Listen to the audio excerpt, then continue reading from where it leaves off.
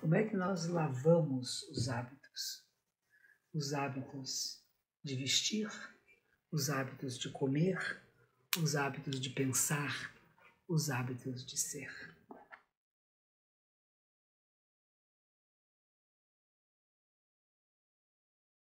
Hoje nós estamos começando o capítulo 4. Esse livro, essa, o trabalho que ele fez, ele queria escrever 100 capítulos.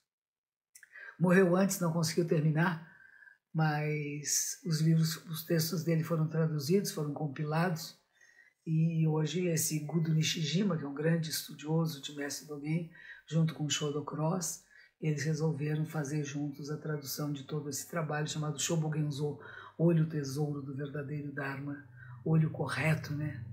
olho onde é guardada a verdade, olhar, a ótica onde o sagrado está preservado.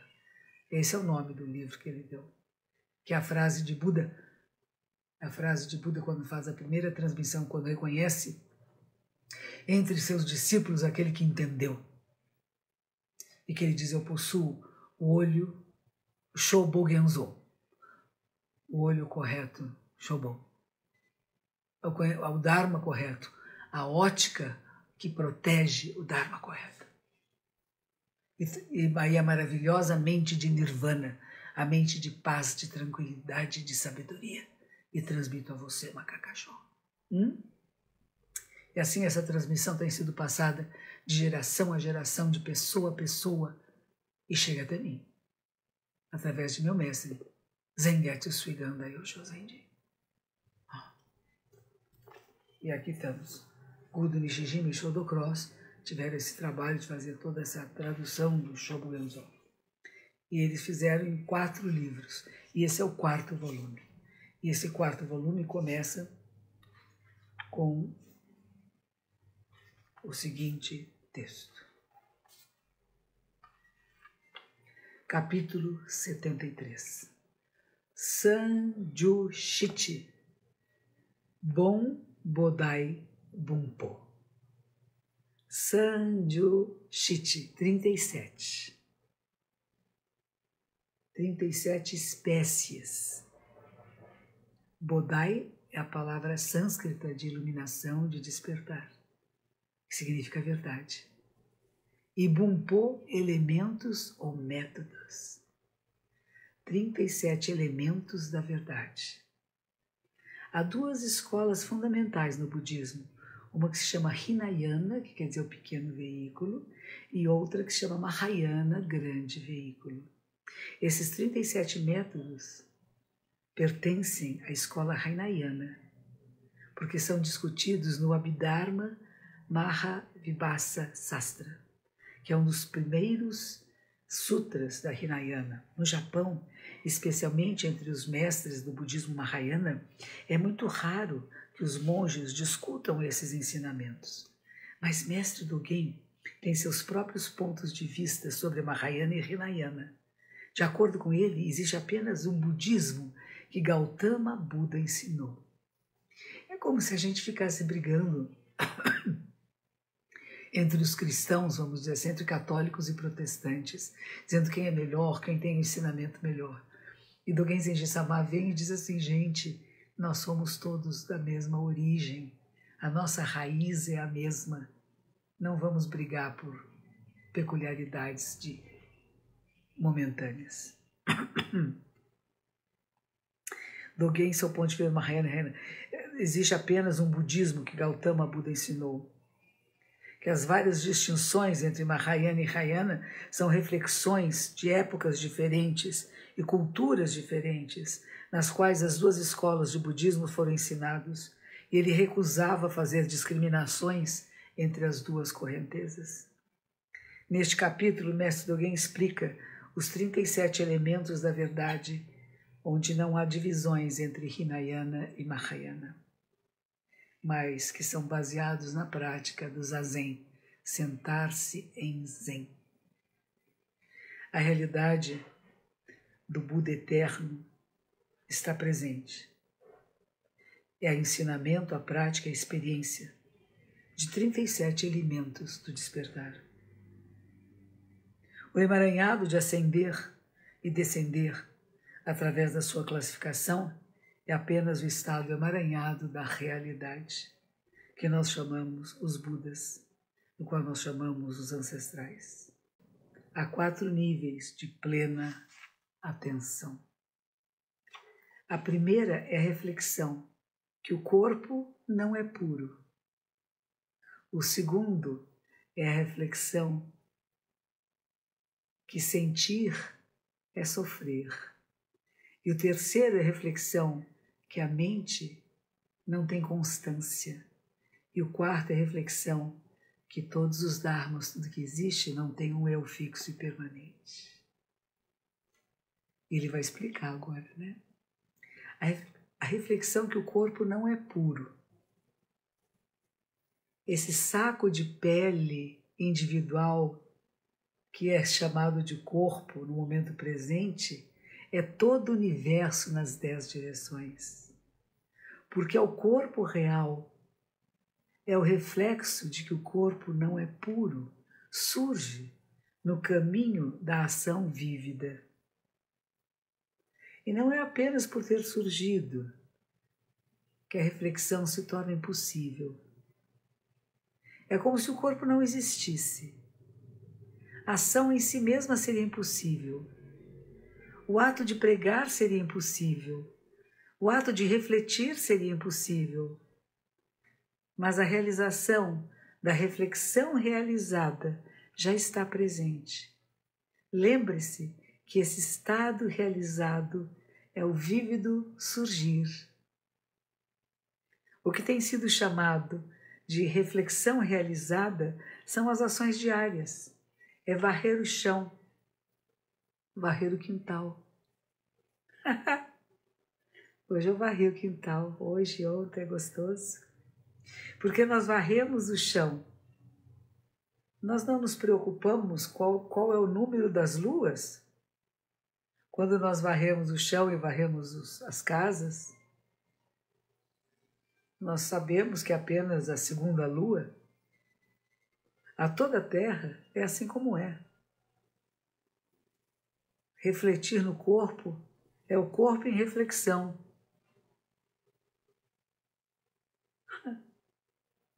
É, não, não significa que através da reflexão do corpo alguma coisa mais seja refletida.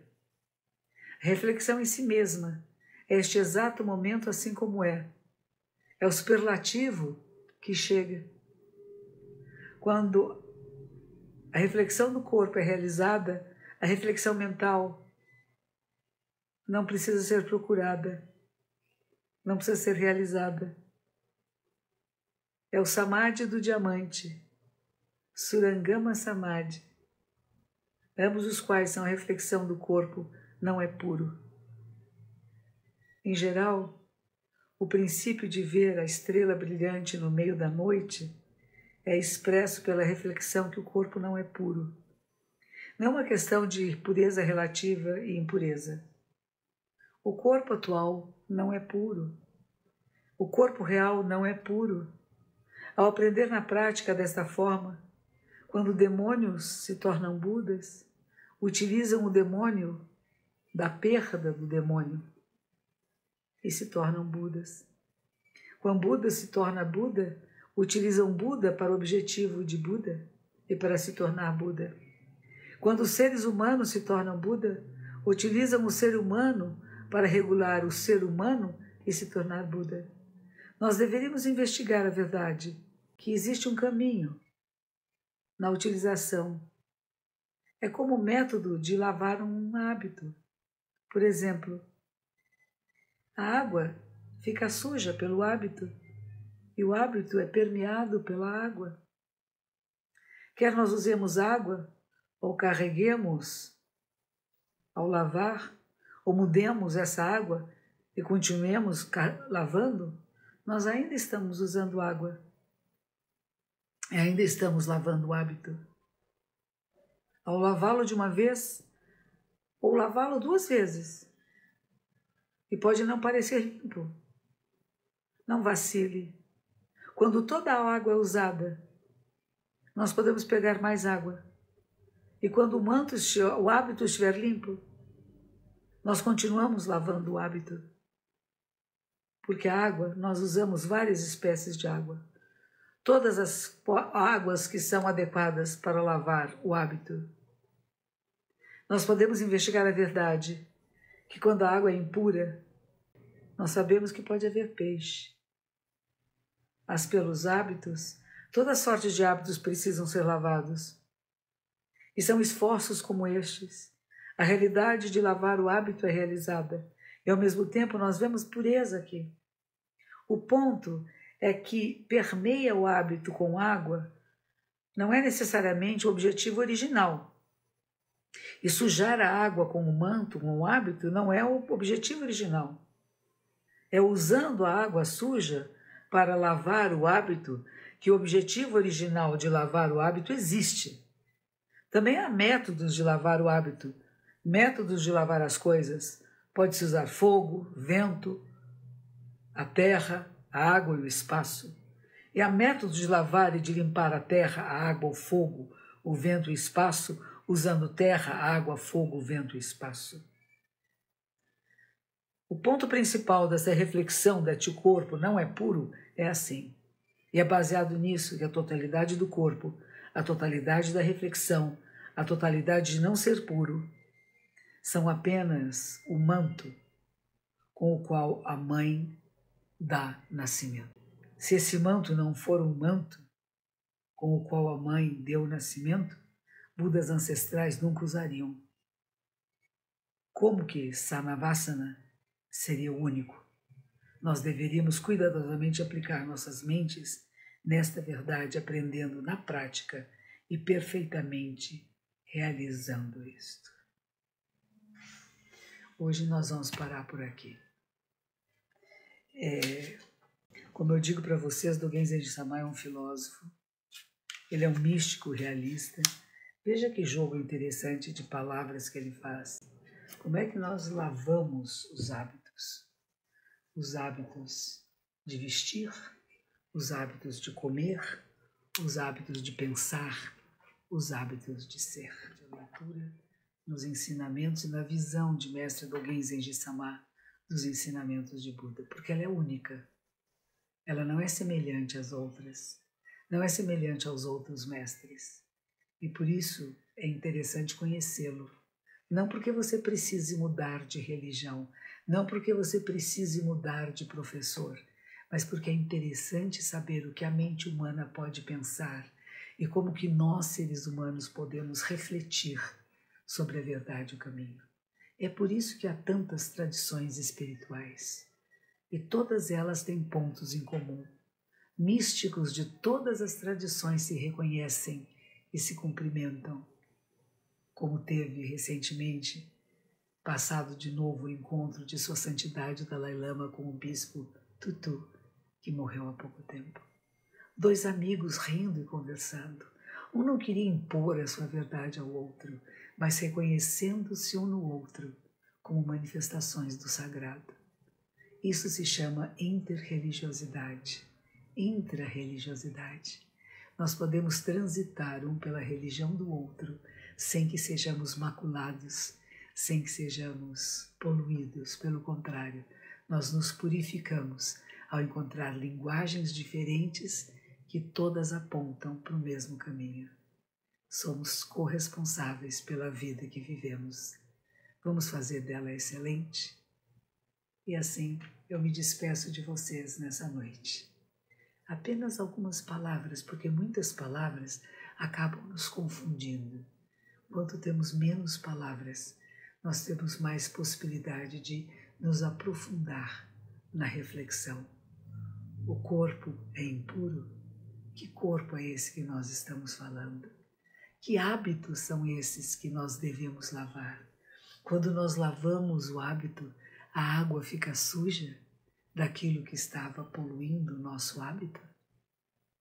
E quantas vezes temos que trocar as águas até que elas saiam transparentes, como se nunca tivessem nenhuma sujeira. Isso é lavar, lavar os hábitos, os hábitos das roupas e os hábitos mentais, os hábitos da fala, do pensamento. É interessante esse Dogen Zenji Sama faz muito isso durante toda a sua obra. Quando você pensa que ele está falando, ele está dando uma outra entonação e você vê que é uma possibilidade imensa. Isso só gênios fazem, sabe? Só Einstein fazia essa capacidade de conectar uma coisa com outra que parece não estar conectada e você perceber que tudo está interligado e que não existe nada fora da natureza Buda. Tenha uma excelente noite